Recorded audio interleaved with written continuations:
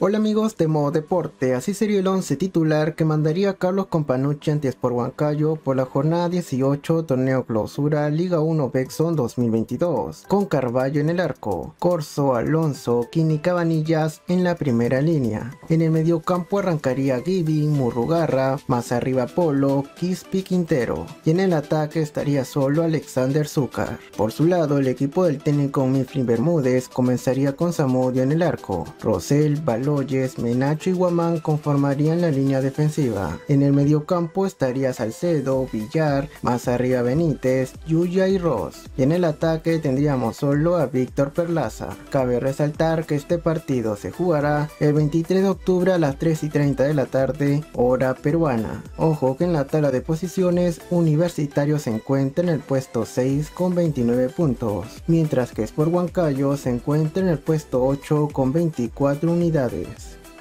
Si te gustó el video, apóyame con un pulgar arriba, suscríbete activando la campanita que es totalmente gratis y nos vemos en un próximo video.